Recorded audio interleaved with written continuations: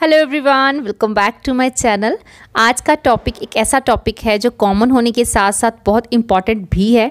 Common इसलिए क्योंकि महँगाई बहुत है बोल बोल के अक्सर अपने नियर्स एंड डियर्स के साथ इस बारे में डिस्कशंस करते रहते हैं। एंड इंपॉर्टेंट इसलिए क्योंकि मनी सेव करना मतलब खुद को फाइनेंशियली स्ट्रॉन्ग करना। लाइफ बहुत अनप्रडिक्टेबल हो गई है। कब क्या हो जाए, कुछ पता नहीं। आजकल हर कोई चाहता है कि वो अपनी हर ज़रूरत पूरी करने के साथ साथ हर शौक़ भी पूरा करे और उसके बाद कुछ ना कुछ सेविंग्स भी हो जाएँ।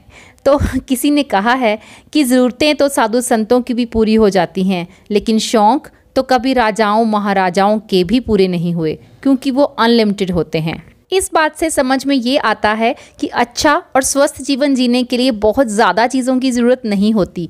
प्रॉब्लम तो वहाँ आती है जहाँ हमारी इच्छाओं की कोई सीमा नहीं रहती। हम पैसे को अपने पास लाने के लिए स्ट्रेस बढ़ाते जाते हैं और फिर भी पैसा हमसे दूर होता जाता है, क्योंकि जितनी हमारी इनकम बढ़ती है, उतने ही हम खर्च और बढ़ा लेते हैं। मैं कोई फाइनेंशियल एडवाइज़र नहीं हूँ, लेकिन एज ए हाउस जिस वे में सेविंग मैं करती हूँ, बस वही एक्सपीरियंस आपके साथ शेयर कर रही हूँ।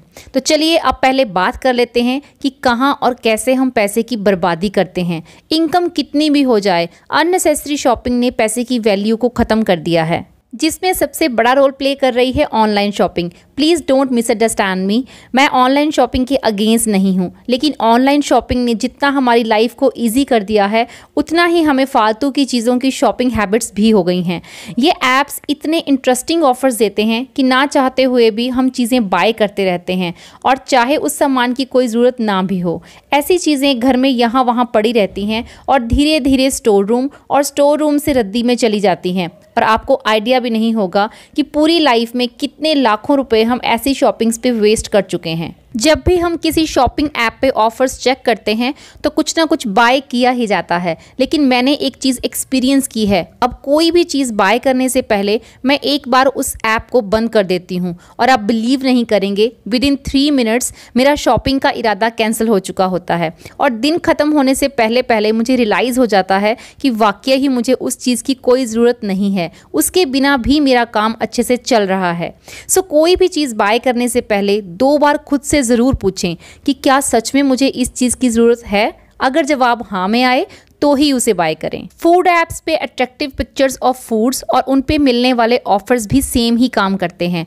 पर आप कुछ भी कहें, बाहर का खाना हमेशा ही महँगा होगा और वो आपके बनाए खाने से हेल्दी भी कभी नहीं हो सकता। सो रेडीमेड खाने की हैबिट छोड़ दें तो बहुत सारी सेविंग की जा सकती है। वीकेंड्स पे फैमिली के साथ टाइम स्पेंड करना मतलब खुद को पूरे वीक के लिए रिफ्रेश करना। एवरी वीकेंड फैमिली के साथ डिनर पे बाहर जाने की बजाय मंथ के दो वीकेंड घर पे ही स्पेशल डिनर रेडी कर करके बचत और इंजॉय दोनों किया जा सकता है। मैं अपनी बात करूँ तो एवरी सैटरडे अपने और अपनी फैमिली के लिए स्पेशल डिनर को स्पेशल वे में प्रेजेंट करती हूँ और प्लानिंग के अकॉर्डिंगली किसी ओकेजन पे ही बाहर जाना पसंद करते हैं। ऐसे ही कितने लाखों रुपए तो हम महँगी महँगी पार्टी वेयर ड्रेसेस पे खर्च करते हैं। फिर जिसका एक या दो बार से ज़्यादा हम पहनना पसंद भी नहीं करते। तो महँगी पार्टी वेयर ड्रेसेस जो कि एक टाइम के बाद हमारी क्लॉजर्स में ही पड़ी रहती हैं, उन पे खर्च करने की बजाय ड्रेसेस रेंट पे भी ली जा सकती हैं या ऑफ़ सीज़न क्लोथ्स की शॉपिंग भी मनी सेविंग का एक गुड आइडिया है।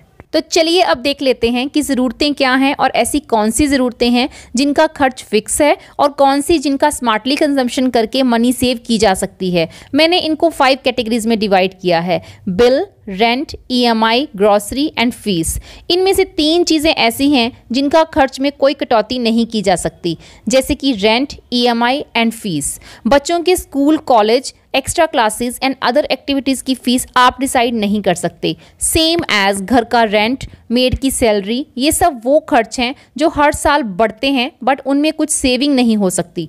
इसी तरह से ईएमआई e यानी कि इक्वेटेड मंथली इंस्टॉलमेंट्स जिसमें home loan car loan education loan और पर्सनल लोन्स एक्सेट्रा इंक्लूडेड हैं। ये भी मंथली एक ऐसा खर्च है जो फिक्स है। कोशिश करें कि ईएमआई e सिर्फ़ ज़रूरत की चीज़ों पे ही हो फ़ोन गैजेट्स और फर्नीचर की बाइंग सेव किए हुए पैसे से करें। अब बात करते हैं वो खर्च जो हैं तो बहुत ज़रूरी, लेकिन स्मार्टली और सिस्टमेटिकली कंजम्पशन से हम इनसे काफ़ी सेविंग्स कर सकते हैं, यानी कि बिल्स एंड ग्रॉसरी इन पॉइंट्स के ऊपर डिटेल में जाने से पहले मैं कुछ कहना चाहती हूँ, क्योंकि कुछ लोग सोच सकते हैं कि इतनी भी क्या कंजूसी करनी। तो बहुत सिंपल सी बात है, अपने ज़रूरत की चीज़ों पर भी खर्च ना करने को कंजूसी कहते हैं और लापरवाही से चीज़ों का इस्तेमाल करने को कहते हैं वेस्टेज ऑफ़ मनी जिस घर में पैसों की वेस्टेज होती है, वहाँ सेविंग्स कभी नहीं हो सकती। एक एक रुपए की कीमत समझने वाले लोग ही सक्सेसफुल होते हैं। किसी ने कहा है take care of coins rupees can take care of them यानी कि सिक्कों का ख्याल रखें, नोट अपना ख्याल खुद रख लेंगे। कॉइन्स जुड़ते हैं तो नोट बनते हैं। अगर किसी प्रोडक्ट की कीमत हंड्रेड रुपीज़ है और आपके पास सिर्फ़ नाइन्टी नाइन रुपीज़ हैं then you cannot buy that product तब हमें उस एक रुपये की कीमत का पता चलता है। बात करें बिल्स की तो न्यूज़पेपर बिल्स के अलावा इलेक्ट्रिसिटी फ़ोन मेडिकल और ट्रांसपोर्ट पे होने वाले वो खर्च जिनका केयरफुली यूज़ हमें कुछ सेविंग दे सकता है। घर के हर मेंबर को पता होना चाहिए कि ज़रूरत ना होने पे इलेक्ट्रिकल स्विचेस ऑफ़ होने चाहिए। फ़ोन का यूज़ करें मिस यूज़ नहीं। महँगे ट्रांसपोर्ट फैसिलिटीज़ में कुछ कटौती करके पब्लिक ट्रांसपोर्ट जैसे कि बस या ऑटो रिक्शा का इस्तेमाल अगर कैब का ही इस्तेमाल करना चाहते हैं तो पूल ऑप्शन यानी कि कैब शेयरिंग ऑप्शन ले सकते हैं, वो काफ़ी सस्ता पड़ता है। या पेट्रोल सेविंग मेथड्स का यूज़ करके पेट्रोल पे होने वाले खर्च को कम करना। आप माने ना माने, लेकिन हेल्दी खाना और रेगुलर एक्सरसाइज जैसी हैबिट्स कहीं ना कहीं आपका बहुत सारा मेडिकल खर्च बचा सकती हैं, क्योंकि आज की डेट में मेडिकल सबसे महँगा होता जा रहा है। चलिए ये सब हम कर भी लें तो भी कैसे पता चलेगा कि हमने कितने पैसे सेव किए हैं? उसके बारे में भी बात करते हैं, लेकिन अभी पॉइंट ग्रॉसरी बाकी है। ग्रॉसरी शॉपिंग से पहले लिस्टिंग ताकि कोई इंपॉर्टेंट चीज़ लाना भूल ना जाए और कोई ऐसी चीज़ बाय ना कर लें जो ऑलरेडी घर में मौजूद है। इससे मनी वेस्ट के साथ साथ सामान की बर्बादी भी होती है। थ्री मंथ्स तक अपनी इनकम और छोटे से छोटे खर्च को लिखने से हमें एवरेज पता चल जाएगी और जिस दिन से आपने लिखना शुरू कर दिया, समझ लें उसी उसी दिन से आपने पैसे को वेस्ट करना छोड़ के सेविंग करना शुरू कर दिया। क्योंकि लिखने की आदत ही हमें बताएगी कि हमने कहाँ कहाँ फिजूल खर्च किया है, जिसे नेक्स्ट टाइम से रोका भी जा सकता है। तो करना ये है कि नॉर्मली जितने पैसे बिल्स और ग्रॉसरी पे एवरी मंथ खर्च होते हैं, उतने निकालने ही हैं। लेकिन ग्रॉसरी और बिल्स में से जो भी पैसे इस बार सेव होंगे, वो चाहे एक छोटा सा अमाउंट ही क्यों ना हो, उसे हम बैंक में सेविंग अकाउंट में डिपॉजिट करवाएँगे और भूल जाएँगे।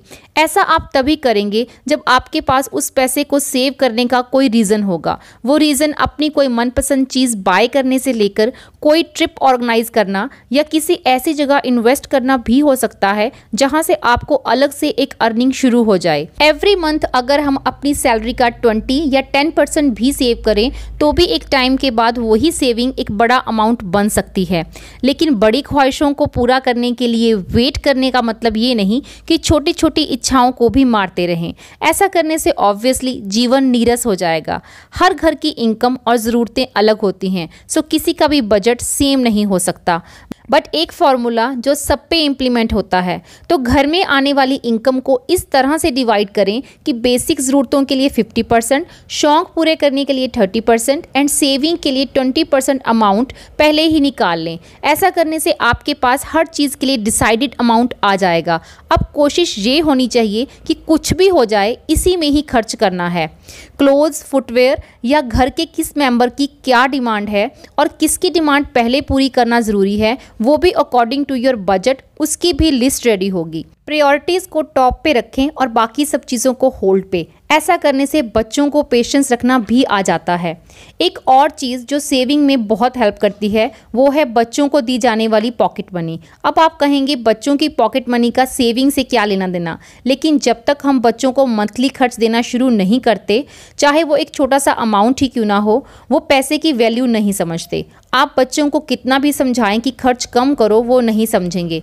लेकिन पॉकेट मनी देना और ये कह देना कि आपको इसी में अपने फ्रेंड्स के बर्थडेज के लिए गिफ्ट और अपना फ्रेंड्स के साथ आउटिंग का खर्च भी मैनेज करना होगा। And yes they can buy their favourite things by saving money और आप देख कर हैरान हो जाएँगे कि वो फालतू की चीज़ों पर खर्च करना बिल्कुल बंद कर देंगे और एक पर्टिकुलर अमाउंट सेव करके अपनी सेविंग अकाउंट में डिपॉजिट करवाएँगे। इस तरह से छोटी एज में ही बच्चे सेविंग करना सीख जाते हैं। ऐसी बहुत सी चीज़ें होती हैं जिनके बारे में मैं पहले से जानती हूँ। बट जब भी मेरा कोई अपना मुझे उसी के बारे में समझाता है तो मुझे अच्छा फील होता है। लगता है कि सब कुछ रिमाइंड हो गया। इसी तरह से आप सबके साथ भी मेरा एक अलग सा रिश्ता बन गया है। तो जिस भी चीज़ से आपको थोड़ा सा भी फ़ायदा होता हो, उस पर वीडियो बना के आपको मोटिवेट करने की कोशिश करती हूँ।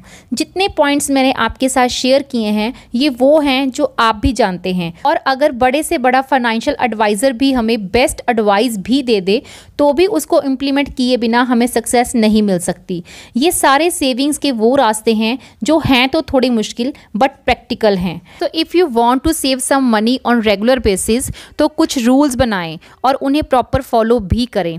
कुछ भी नहीं है मुश्किल, अगर ठान लीजिए। आप सबका प्यार लाइक्स और कमेंट के थ्रू मुझे मिलता रहता है। नए व्यूवर से रिक्वेस्ट कर रही हूँ कि if you like my video then please subscribe to my channel with bell icon you can follow me on Facebook and Instagram link is in description box so see you in the next video till then bye take care and stay healthy